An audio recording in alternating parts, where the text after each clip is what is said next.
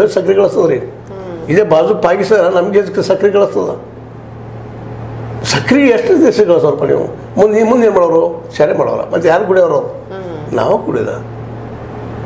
ಆ ಕುಡಿಯೋದ್ರಿಂದ ನಮ್ಮಲ್ಲಿ ಚೈತನ್ಯ ಹಾಳಾಗಿ ಹೋಗ್ತದೆ, ಶಕ್ತಿ ಹಾಳಾಗಿ ಹೋಗ್ತದೆ, ನಮ್ಮ ಯುವಕರು ಹಾಳಾಗಿ ಹೋಗ್ತಾರೆ, ನಮ್ಮ ಲಿವರ್ಗಳು ಬಾಧಾಗ್ತಾವ ರೋಗಗಳು ಬರ್ತಾವೆ ಇದ್ರ ಬಗ್ಗೆ ಯಾರಿಗೂ ಕಲ್ಪನೆ ಇಲ್ಲ, ವಿಚಾರ ಮಾಡೋದಿಲ್ಲ ಯಾರು. ಯಾವ ದೇಶ ನೋಡ್ಬೇಕು ಆಮೇಲೆ ಅಮೇರಿಕದ ವೈನ್ ಕುಡಿದಾರೆ. ವೈನ್ ಅವರು ಸೊಫಿಸ್ಟಿಕೇಟೆಡ್ ಇರ್ತದೆ ಅದು ಅವ್ರ ವಾಯಿನ ನಮ್ಮ ಈ ಬಟ್ಟಿ ಸರಿ ಅಲ್ರಿ. ನಮ್ಮ ಮಾತು ಒಂದು ಏನು ಹೆಸರು ಹೇಳ್ತಿದ್ರು ನನ್ನ ನೆನಪು ಉಳಿದಿಲ್ಲ ಇವತ್ತದ ಅದಕ್ಕೆ ಅಂಥದ್ದು ಅದಕ್ಕೆ ಗೊಳಬ ಅಂತಿದ್ರು ಅವ್ರು, ಗೊಳಬ. ಗೊಳಬ ಅಂದ್ರೆ ತಿಪ್ಪಿಯಾಗಿ ಹಾಕಿರ್ತಾರೆ ನಾನು ಏನೇ ಹೊಲಸು ಹಾಕಿರ್ತಾರೆ. ಆದರೂ ಏನೋ ಪುರಗ್ ಬಂದು ಅಲ್ಲಿ ಭಾಳ ಕಸು ಇರ್ತದೆ ಚಿಕ್ಕ ಕೊಡ್ತದಂತ ಅಂಥದ್ದು ಕೂಡ ಚಿಕ್ಕಾಗಿ ಹೋಗ್ಬಿಡ್ತದೆ. ಈ ದೇಶ, ಈ ಜನ ಇವರಲ್ಲಿ ಯಾವ ವೈಜ್ಞಾನಿಕ ಚಿಂತನೆ ಇಲ್ಲ ವೈಜ್ಞಾನಿಕ ಮನೋಭಾವ ಇಲ್ಲ ಅದು ಬೆಳೆಸಿಲ್ರಿ. ಮತ್ತು ಜನಸಾಮಾನ್ಯ ಕಲಿಬೇಕಂತಾರೆ ಇಲ್ಲ ಅಂತಲ್ಲ ಅದಕ್ಕಾಗಿ ಅಂಬೇಡ್ಕರ್ ಅವ್ರ ಮಾತು ಭಾಳ ನೂರ ನೂರ ಒಂದರಲ್ಲಿ ಸತ್ಯದ ಶಿಕ್ಷಣ ಒಂದೇ ನಾವು ಬದಲು ಮಾಡುವಂಥದ್ದು. ಶಿಕ್ಷಣ ಅಂದ್ರೆ ಹೊಸದನ್ನು ಕೊಡುವಂಥದ್ದು. ಮತ್ತು ನಮಗೆ ಈ ದೇಶ ಉಳಿದಕ್ಕೆ ಇಲ್ಲಿ ಅಗ್ರಿಕಲ್ಚರ್ ಅದ್ರ ಪ್ರೊಡಕ್ಟ ಎಣ್ಣೆ ಕಾಳು ಬೆಳೀರಿ ಎಣ್ಣೆ ತಯಾರು ಮಾಡಿರಿ. ಇಂಪೋರ್ಟ್ ಮಾಡ್ಕೋತಾರೆ ಸಾಕಷ್ಟು ಅದು ಸಾಕಷ್ಟು ಗಳಿಸಲ್ಲ ನಾವು ಭೂಮಿ ಬೆಳೆದು ಅದು ಬಿಟ್ಟು ಕಬ್ಬಾಗಿ ಬೆಳಿತೀರಿ ಎಲ್ಲರೂ? ಕಬ್ಬು ಕಬ್ಬು ಕಬ್ಬು ಬೇದ್ಗಳು ನಾ ಇಷ್ಟು ಬೇಯಿಸೀನಿ ನಾ ಇಷ್ಟು ಬೇಯಿಸಿ ತೋರಿಸಿ ತೋರಿಸ್ತಿರ್ತಾರೆ ಅವತ್ತನ್ನ ಹಾಂ?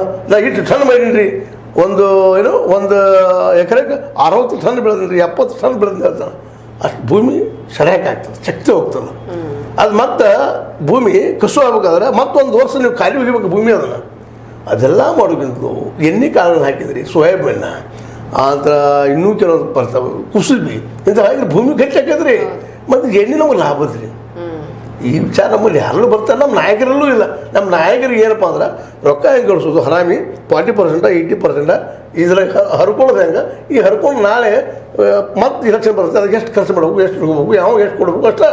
ಇಂಥವ್ರು ನಮ್ಮ ಯೋಜನಾ ಕಮಿಷನ್ ಬಂದು ಕೊಡ್ತಾರೆ ಅವ್ರು. ಅಲ್ಲೇನು ಹೇಳೋರು ನೀತಿ ಕಮಿಷನ್ ಮಾಡ್ಯಾರ ನಮ್ಮ ನಮ್ಮ ಮೋದಿಯವರು. ಆ ನೀತಿ ಕಮಿಷನ್ದವ್ರು ಇಂಥ ಮಂದಿ ರಾಜಕಾರಣಿಗಳು. ಇವ್ರು ಈ ದೇಶದ ಆರ್ಥಿಕವನ್ನು ಎಬ್ಬಿಸ್ಕೊಂಡು ಹೆಂಗೆ ಎಬ್ಸಕ್ಕೆ ಸಾಧ್ಯ ಇದೆ ವಿಚಾರ ಹೆಂಗೆ ಬರ್ಲಿಕ್ಕೆ ಸಾಧ್ಯ ಇವ್ರ ಥರ ಏನು ಇರೋದ್ರಿ ಇಲೆಕ್ಷನ್ ಯಾವಾಗ ಬರ್ತೈತಿ ಏನು ಡೇಟ್ ಐತಿ ಇಲ್ಲಿ ಓಟ್ ಎಷ್ಟು ಅದಾವ ಈ ಡೇಟ್ ಸತ್ತಾರ ಸತ್ತವ್ರು ಬಂದ್ರೆ ಎಷ್ಟು ಓಟ್ ಹಾಕಕ್ಕೆ ಸಾಧ್ಯತೆ ಬೋಗಸ್ ಓಟ್ ಹೆಂಗೆ ಮಾಡಿಸ್ ಮಾಡಿಸ್ಲಿಕ್ಕೆ ಸಾಧ್ಯತೆ ರಿಗ್ಗಿಂಗ್ ಹೆಂಗೆ ಮಾಡ್ಸೋಕ್ಕೆ ಸಾಧ್ಯತೆ ಇದನ್ನ ಬಿಟ್ಟು ಮತ್ತೊಂದು ಥರ ಇಲ್ಲ ಅವ್ರಿಗೆ. ಓಕೆ ಹೀಗಾಗಿ ನಮಗೆ ಈಗ ಬೇಕಾಗಿದ್ದು ಅಗ್ರಿಕಲ್ಚರ್ ಆ್ಯಂಡ್ ಅಗ್ರಿಕಲ್ಚರ್ ಬೇಸ್ ಇದ್ದಂಥ ಒಂದು ಎಕಾನಮಿ ಬೇಕು ಮತ್ತು ಇವ್ರಿಗೆ ಬೇಕಾದಂಥ ಒಂದು ಒಂದು ಮಿನಿಮಮ್ ಶಿಕ್ಷಣ ಕೊಡಿಸ್ಲಿಕ್ಕೆ ಸಾಧ್ಯ ಅಷ್ಟು ಮಾಡಿದ್ರೆ ನಮ್ಮಲ್ಲಿ ಉದ್ಯೋಗ ಸೃಷ್ಟಿ ಆಗ್ತಾವೆ. ಅದು ನಾವು ಅಮೆರಿಕದ ಹಂಗೆ ಒಂದು ವಿಮಾನ ಮಾಡಿದ್ರೆ ಹದಿನೈದು ಸಾವಿರ ಕೋಟಿ ಹದಿನಾರು ಸಾವಿರ ಕೋಟಿ ಬರೋದಿಲ್ಲ ಇಲ್ಲಿ. ಬರೋದು ನಾವು ಕಾಲ ಬೆಳೆದ್ರೆ ಎಷ್ಟು ಬರ್ತದೆ ಅದು ಚೆನ್ನಾಗಿ ಬರ್ತದೆ ರೀ ಇಡೀ ವಿಶ್ವಕ್ಕೆ ನೀವು ಕಾಲ ಅಂತವ್ರಾದ್ರೆ ರೇಟ್ ಬಂದೇ ಬರ್ತದೆ ಅದಕ್ಕೆ. ಖಂಡಿತ. ಓಕೆ ಇವಾಗ ಕಾಂಗ್ರೆಸ್ ಪಕ್ಷದಿಂದ ಕೆಲವೊಂದಿಷ್ಟು ಗ್ಯಾರಂಟಿಗಳನ್ನ ಕೊಟ್ಟರು ಅದರಲ್ಲಿ ಪ್ರತಿ ವರ್ಷ ಮೂವತ್ತು ಲಕ್ಷ ಉದ್ಯೋಗಗಳನ್ನ ಕೊಡ್ತೀವಿ ಅಂತ ಹೇಳಿದ್ರು. ನೀವು ಹೇಳಿದಾಗೆ ನೂರ ನಲ್ವತ್ತೊಂದು ಕೋಟಿ ಜನಸಂಖ್ಯೆಯಲ್ಲಿ ಮೂವತ್ತು ಲಕ್ಷ ಯಾವ ಮೂಲೆಯ ಒಂದು ಒಂದು ಬಿಂದುನೂ ಅಲ್ಲ ಅದು. ಹೀಗಿರ್ಬೇಕಾದ್ರೆ ಎಷ್ಟು ಜನರಿಗೆ ಸಹಾಯ ಮಾಡಕ್ ಸಾಧ್ಯ ಅದು ಅಂತ? ಅದಕ್ಕಾಗಿ ಅವ್ರು ಏನು ಮಾಡಿದ್ದಾರೆ ಗ್ಯಾರಂಟಿ ಒಳಗೆ ಈ ಒಂದಿಷ್ಟು ಒಂದು ಕುಟುಂಬಕ್ಕೆ ಮಗಳಿಗೆ ಒಂದು ಲಕ್ಷ ಕೊಡುವಂಥದ್ದು ಒಬ್ಬರಿಗೆ. ಅದರ ಕುಟುಂಬ ಒಂದು ಎಂಟು ಎಂಟೂವರೆ ಸಾವಿರ ಆದ್ರೂ ಕೊಟ್ಟ ಅವ್ರು ತಮ್ಮ ಕಾಲ ಇಡುವಂಥ ಒಂದು ಪ್ರಯತ್ನ ಮಾಡಿಸೋಕೆ ಮಾಡಿಸೋ ಪ್ರಯತ್ನ ಮಾಡುತ್ತೆ ಹಾಗಾದರೆ ಮತ್ತು ಪ್ರತಿ ವರ್ಷ ಮೂವತ್ತು ಲಕ್ಷ ಕ್ರಿಯೇಟ್ ಆಗ್ತಾವಂತೂ ಗ್ಯಾರಂಟಿ ಇಲ್ಲ.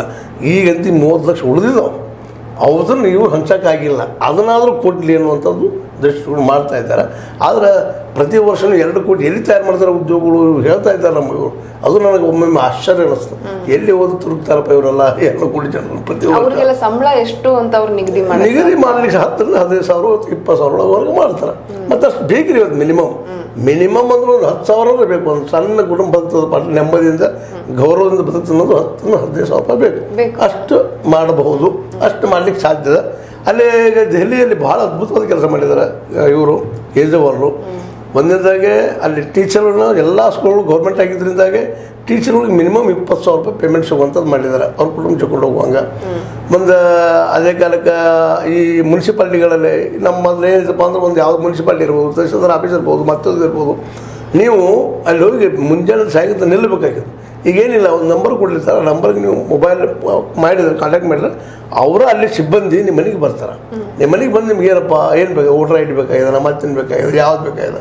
ನೀವು ಖಾಲಿ ಯಾವಾಗಿರ್ತಾರೆ ಕೇಳ್ತಾರೆ ಅವ್ರು ನಿಮ್ಮ ಸಮಯ ಯಾವುದು ಅಂತೇಳಿ ಅವ್ರು ಬಂದು ನಿಮ್ಮನ್ನು ತೊಗೊಂಡು ಹೋಗ್ತಾರೆ. ಅಷ್ಟೇ ಅಲ್ಲ ಅಲ್ಲಿ ಕಾಳಗಳನ್ನು ಸಹಿತ ನೀವು ಖಾಲಿ ಯಾವಾಗಿರ್ತಾರೆ ಹೇಳಿದಾಗ ನಿಮ್ಮ ಮನೆಗೇನ ಕಾಳುಗಳನ್ನು ಅಂದರೆ ಈ ರೇಷನ್ ಕಾಳುಗಳನ್ನು ಸಪ್ಲೈ ಮಾಡುವಂಥ ವ್ಯವಸ್ಥೆ ಮಾಡಿದ್ದಾರೆ. ಇದು ಸುಳ್ಳಿನಲ್ಲ ಈಗ ನಡೆದಿದೆ ಹೀಗಾಗಿ ಆ